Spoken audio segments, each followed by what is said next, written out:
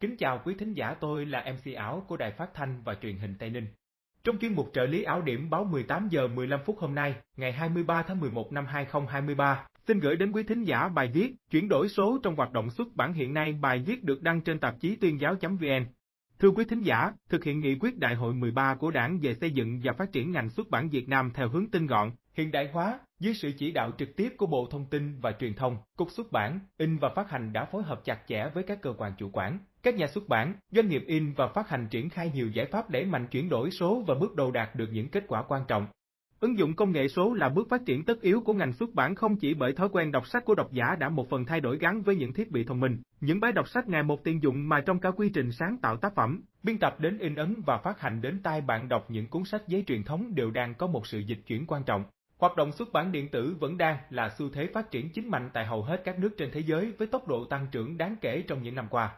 Theo báo cáo của nền tảng dữ liệu và kinh doanh thông minh toàn cầu Statista, Com, doanh thu từ thị trường sách điện tử dự kiến sẽ đạt 14,16 tỷ USD vào năm 2023. Với tốc độ tăng trưởng hiện nay, số độc giả sử dụng sách điện tử thường xuyên sẽ vượt mốc con số trên 1,1 tỷ người dùng và sẽ dự kiến sẽ đạt 15,33 tỷ USD vào năm 2027. Đây vừa là minh chứng cho một phần của chuyển đổi số đã và đang diễn ra mạnh mẽ. Bởi chuyển đổi số không chỉ là xuất bản điện tử mà chuyển đổi số ngành xuất bản đã và đang diễn ra ở mọi khâu của quy trình xuất bản. Nền tảng trí tuệ nhân tạo AI tuy có thể không thay thế hoàn toàn được lao động sáng tạo của con nhưng ngày càng có nhiều người trong ngành xuất bản nói rằng AI đang có tác động tích cực đến việc chỉnh sửa và xuất bản sách bằng cách làm cho toàn bộ quá trình hiệu quả và chính xác hơn, từ đó tạo nên cuộc cách mạng trong biên tập sách cũng như ngành xuất bản. Công nghệ AI đang nhanh chóng nâng cao hiệu quả của quy trình, cho phép các biên tập viên và nhà xuất bản xác định lỗi nhanh chóng và chính xác, phát hiện đạo văn và tạo báo cáo. Các thuật toán AI giờ đây có thể được sử dụng để so sánh các bản thảo với một thư viện khổng lồ các tác phẩm đã xuất bản, giúp các biên tập viên dễ dàng xác định hành vi đạo văn trong sách hơn. Công nghệ AI cũng cung cấp các công cụ để viết bản tóm tắt tốt hơn và đánh giá sở thích của người đọc. Trong lĩnh vực in xuất bản phẩm, việc đầu tư hiện đại hóa ngành tiếp tục được đẩy mạnh, Tự động hóa quy trình làm việc cùng với việc sử dụng các giải pháp đám mây cloud, dữ liệu lớn Big Data là những đòn bẩy quan trọng để giảm chi phí. Mức độ tự động hóa cao trong sản xuất và trong các quy trình hỗ trợ tại văn phòng sẽ giúp các doanh nghiệp in đạt được vị thế kinh tế. Môi trường kết nối mạng thông minh, sử dụng các dịch vụ và các giải pháp công nghệ thông tin được quản lý bởi các nhà cung cấp dịch vụ chuyên nghiệp sẽ giúp các doanh nghiệp giảm bớt chi phí và tăng cường tính linh hoạt trong quy trình sản xuất kinh doanh của họ. Điều này quan trọng không chỉ bởi vì tự động hóa có thể thực hiện những nhiệm vụ đôi khi mang tính chất con người này trong một khoảng thời gian ngắn, giảm chi phí lao động, chi phí thời gian mà còn giảm khả năng xảy ra lỗi chủ quan của con người. Trong lĩnh vực phát hành xuất bản phẩm, ứng dụng thương mại điện tử và phát hành sách trên các sàn thương mại điện tử, các nền tảng mạng xã hội đang là xu hướng chính trong kinh doanh xuất bản phẩm. Cùng với đó, phát hành xuất bản phẩm điện tử có bước tăng trưởng mạnh mẽ trong những năm gần đây, nhiều loại hình xuất bản phẩm điện tử hiện đại được xuất bản, đặc biệt là việc áp dụng công nghệ AI vào việc phát hành sách nói đã đem lại những hiệu quả đặc biệt ấn tượng. Theo báo cáo trang nghiên cứu Grand Research năm 2021, thị trường sách đạt giá trị khoảng 2,67 tỷ USD. Sách nói đang phát triển cực mạnh và sẽ đạt giá trị 15 tỷ USD vào năm 2027. Trong khi đó, thống kê từ Good Reader cho thấy khoảng 3 năm trở lại, tốc độ tăng trưởng doanh số sách nói tại Mỹ đã vượt bán sách điện tử. Thị trường Bắc Mỹ dẫn đầu tiêu thụ sách nói, Tiếp đến là châu Âu, châu Á-Thái Bình Dương và xếp cuối là khu vực Trung Đông châu Phi. Nhìn chung, xu hướng này vẫn sẽ giữ nguyên trong khoảng 10 năm tiếp theo. Báo cáo tổng quan kỹ thuật số toàn cầu năm 2022 cho thấy chi tiêu truyền thông kỹ thuật số toàn cầu theo định dạng DAX Abo tàn tháng 1 năm 2022 đối với sách điện tử của nhân loại đã đạt mức 27,59 tỷ đô la với tốc độ tăng trung bình năm ở mức trên 12% năm. Sự gia tăng nhu cầu và mức phát triển của lĩnh vực sách nói cũng luôn ở mức hai con số. Cùng với xu hướng chung của xuất bản thế giới, thông qua chiến lược chuyển đổi số ngành xuất bản, trong thời gian qua, quá trình chuyển đổi số xuất bản đã đạt được một số kết quả nhất định từ phát triển công nghệ số hỗ trợ hoạt động xuất bản, triển nền tảng xuất bản điện tử dùng chung đến triển khai hệ thống trợ lý ảo trong biên tập xuất bản. Cụ thể, thứ nhất, ứng dụng công nghệ số để triển khai một số nội dung chính gồm số hóa dữ liệu, tạo dữ liệu lớn, big data của các đơn vị, đồng thời chuyển đổi số quy trình làm việc để làm ra các sản phẩm xuất bản đáp ứng nhu cầu đọc đa dạng của xã hội. Ngoài việc số hóa kho bản thảo sách đang tiếp tục được triển khai, một số nhà xuất bản đã và đang phát triển hệ thống phần mềm quản lý trên nền tảng ứng dụng web để đưa toàn bộ hoạt động lên trên môi trường mạng. Từ việc xây dựng kế hoạch xuất bản, chọn bản thảo, biên tập tới việc xuất bản và phát hành xuất bản phẩm. Tất cả các quy trình nghiệp vụ, quản lý nhân sự, tổ chức, quản lý sản phẩm, quản lý khách hàng của nhà xuất bản được thực hiện qua mạng, tạo sự giao tiếp, lưu trữ dữ liệu tập trung trên hệ thống iCloud Thứ hai, phát triển nền tảng xuất bản và phát hành điện tử dùng chung nhằm giải bài toán chi phí đầu tư và chi phí khấu hao vượt quá khả năng của nhiều nhà xuất bản, để nhanh tiến trình mở rộng xuất bản điện tử trong toàn ngành. Giải pháp này giúp tăng nhanh số lượng nhà xuất bản được cấp phép hoạt động xuất bản điện tử trong 2 năm gần đây, trong đó riêng năm 2022 cấp phép cho 8 nhà xuất bản, đưa số nhà xuất bản được cấp giấy phép hoạt động xuất bản, phát hành xuất bản phẩm điện tử lên 23 trên 57, chiếm 33,3%.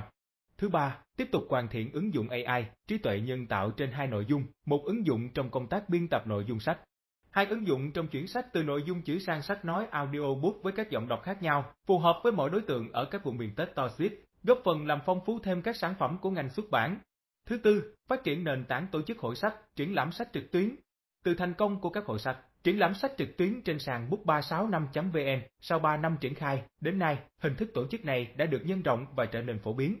Một số sở thông tin và truyền thông, cũng như các đơn vị trong ngành xuất bản cũng thường xuyên tổ chức triển lãm sách trực tuyến nhân các sự kiện chào mừng những ngày lễ lớn, bằng sự nỗ lực cố gắng của từng đơn vị và sự hỗ trợ thúc đẩy mạnh mẽ từ phía các cơ quan chỉ đạo, quản lý, số lượng xuất bản phẩm điện tử đã có sự tăng trưởng nhất trong những năm gần đây.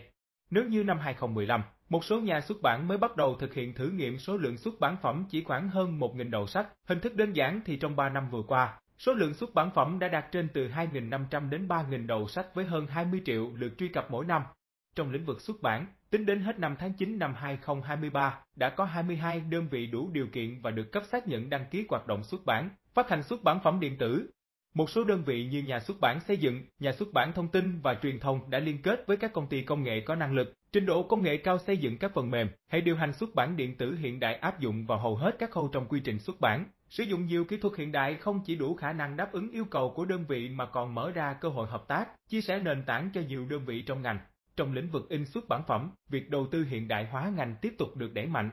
Các doanh nghiệp in tiếp tục đẩy mạnh ứng dụng công nghệ mới, từng bước thực hiện chuyển đổi số, ứng dụng công nghệ hiện đại trong tất cả các quy trình sản xuất và quản lý, đầu tư thiết bị in hiện đại nhằm nâng cao chất lượng sản phẩm. In kỹ thuật số phát triển nhanh với các thiết bị in khổ lớn, tốc độ cao, đáp ứng thị trường in thương mại và in sản phẩm cá nhân hóa, trong lĩnh vực phát hành xuất bản phẩm, nhiều loại hình xuất bản phẩm điện tử hiện đại được chuyển thể, đặc biệt là việc áp dụng công nghệ AI vào việc phát hành sách nói đã đem lại những hiệu quả đặc biệt ấn tượng.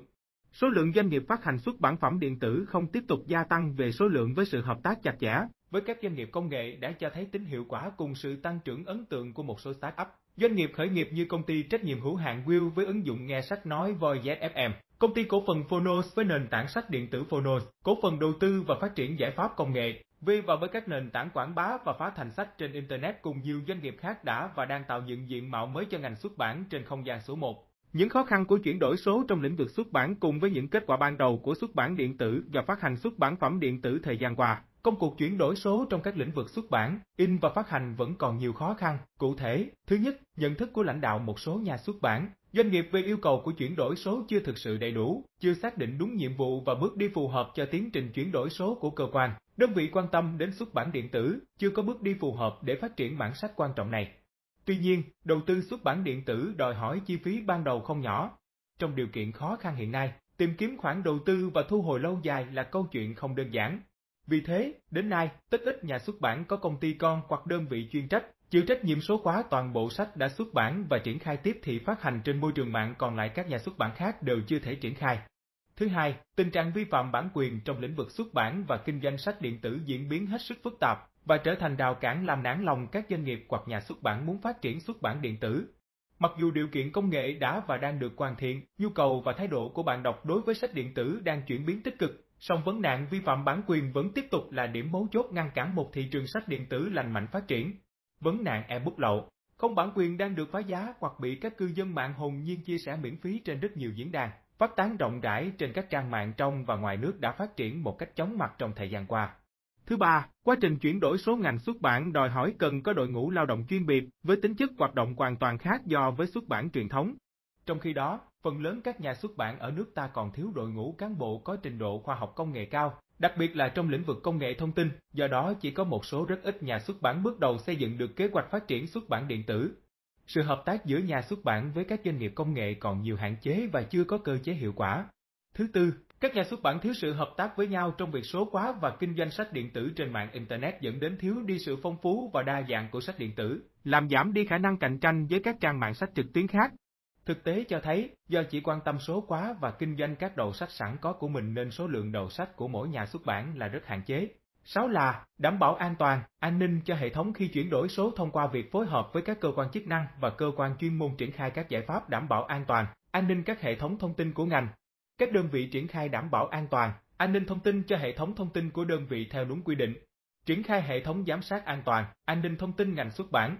Quý thính giả thân mến, quý vị vừa nghe bài viết chuyển đổi số trong hoạt động xuất bản hiện nay bài viết được đăng trên báo nhân dân.vn. Chuyên mục trợ lý ảo điểm báo 18 giờ 15 phút hôm nay xin được tạm dừng tại đây. Cảm ơn quý thính giả đã lắng nghe. Hẹn gặp lại quý thính giả trong chuyên mục trợ lý ảo điểm báo tiếp theo. Thân mến chào tạm biệt.